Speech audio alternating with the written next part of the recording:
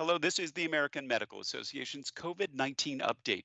Today, we continue with part two of our two part series, talking about what medical schools are planning for the fall. Well, let's think about uh, a little bit about the lessons uh, that you learned from the kind of first round of this. And I, I thought I'd ask you know, we heard a lot from medical students, you know, the issue about how do I contribute? Uh, in an area where I may not be able to be in a clinical setting uh, that I was before. Kind of what did what did you learn about how we can really get the most out of, of a med school experience uh, with the pandemic in the background? Our Doctor, uh, yeah, go ahead. I was just going to say, our students um, jumped in, and we were not a school that was advanced in the use of telemedicine and they uh, came into telemedicine really to help the faculty get familiar with the platform and to onboard the patients. And so they were really, really a value added, um, a value added entity for for our faculty. And uh, so I'll I'll, I'll stop there. I've our heard that before. Yeah, go yeah. ahead they added value wherever they could. I mean, our students were collecting PPE door to door to the labs across our campus that were willing to share extra masks. And then other students were working on how to build, build face shields with 3D print printers. Others were handing out um, hygiene supplies in communities that didn't have access to them. I, their creativity and willingness to jump in and help wherever they could and add value, like Carol mentioned, was really inspiring. Absolutely. And, you know, we had the experience where we felt like when our students came out of their clinical rotations, we tried to create content that would be wise use of their time and prepare them for when they did get back into their clinical um, clerkships. And one of the things we did was to create a fundamentals of COVID course. And that um, basically, the students were very energetic about getting involved with that because we were all learning together. You know, we would learn things at the beginning of the week that maybe weren't true by the end of the week in terms of the virus, in terms of the treatments, in terms of isolation and PPE and things like that. And they actually helped us to go out, get good information.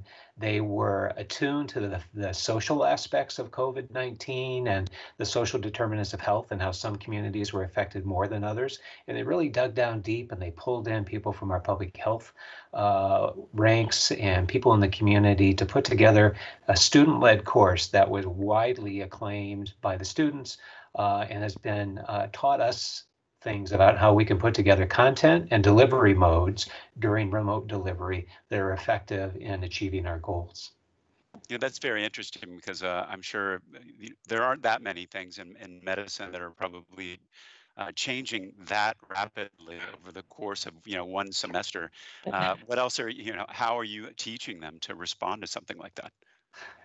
Well, for example, we got to really teach about how to read the literature. And at one point, I joked that our medical students were the best read of anyone about the evidence as it was coming out about COVID. Um, and they could explain the differences in various studies. And actually, you know, I looked to them for learning, and I know other attendings did as well. Uh, because in their journal clubs through our COVID course, like Brad was describing, uh, they were reading everything hot off the press. It's uh, a chance to teach evidence-based medicine when there may not be any evidence. And so I think you know that that concept of the self-directed learning really this was a, a, a you know great time to to teach those skills. You mentioned telemedicine before, and I'm curious, you know, what kind of role that it ever played in the curriculum before.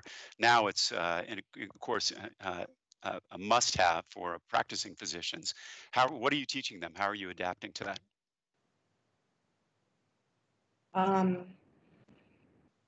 how I guess the our this it was the student initiative to do this, and one of our faculty members took it on, and so we have large cohorts of students that are in this activity, and now it's being woven into the the clerkship experience, and I'm sure in with the timing issues of bringing students back and delaying clerkships, we have something we started a course called CMS. It's called the Core Medical Specialties. So there's a week of every specialty that they do where they learn core skills for each of those specialties. It was newly created, and some of them are using telemedicine encounters to teach clinical medicine and the approach to different disciplines. And so that's working really nicely. I think we'll take advantage of the new competencies that are coming out and be writing them into our curriculum. I have to say that we haven't gotten to that yet. Um, it's a I, it's I mean things are changing so fast. It is it is a very challenging time for us as administrators to do this. I'm sure you you know Julie, uh, Brad, is crazy. I mean, what what what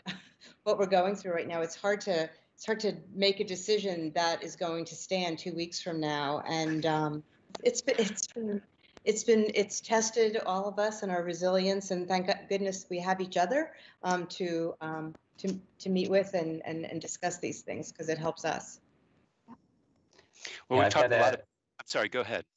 Well, I really have to give credit to the AMA and AAMC because they're they're allowing us to get together and compare notes uh, to to learn what worked and what didn't work, and um, you know what's going to apply to our institution. So um, we really have learned from one another, and telemedicine is one of those things that um, you know the students have helped us learn how to integrate that effectively. And you know, we've developed now some OSCEs that are telemedicine based to help us assess their skills and realize that the communication skills for an effective telemedicine encounter are not the same as sitting four feet across a room from somebody uh, in a clinic or a hospital. So um, we're all learning things that will live on beyond COVID. So, you know, for instance, probably 80% or more of psychiatry services are, are telemedicine now. And I, I expect that may not change after COVID goes away. So, uh, you know, this is the future and, and they're helping us discover the best ways to learn.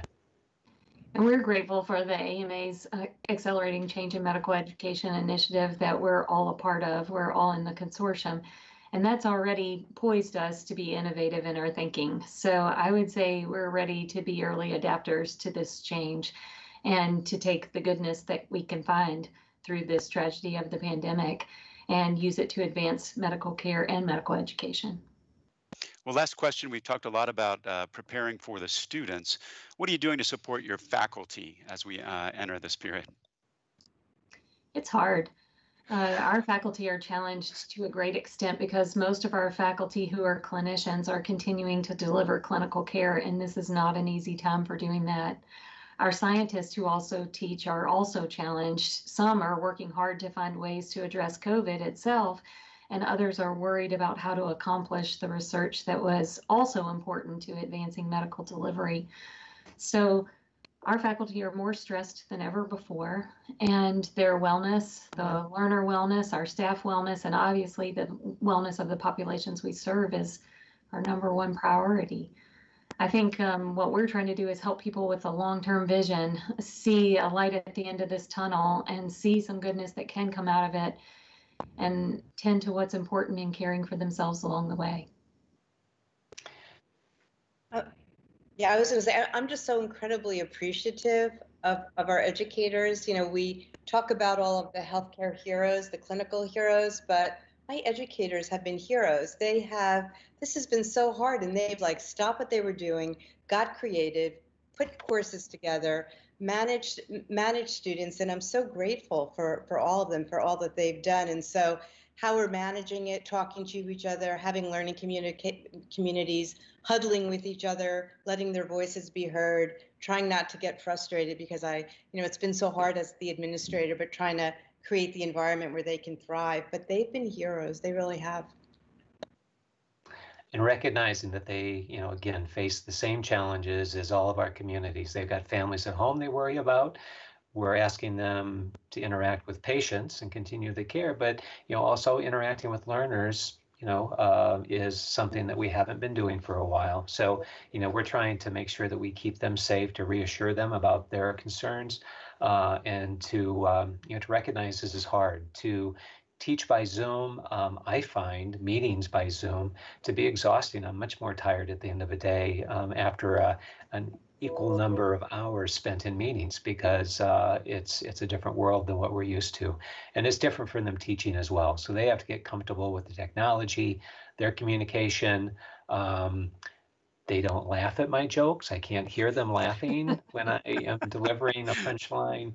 Uh, all those things are, are difficult to adjust to. It is uh, difficult to kind of teach or speak into the void sometimes, but uh, it is a fluid situation, and we really appreciate all that you're doing to train our future physicians. So thank you very much, Dr. Byerly, Dr. Terregino, and Dr. Allen for being here today and sharing your perspectives with us. We'll be back tomorrow with another COVID-19 update. For resources on COVID-19, go to ama-assn.org slash COVID-19. Thanks for joining us and stay safe. Thank you. Thank you.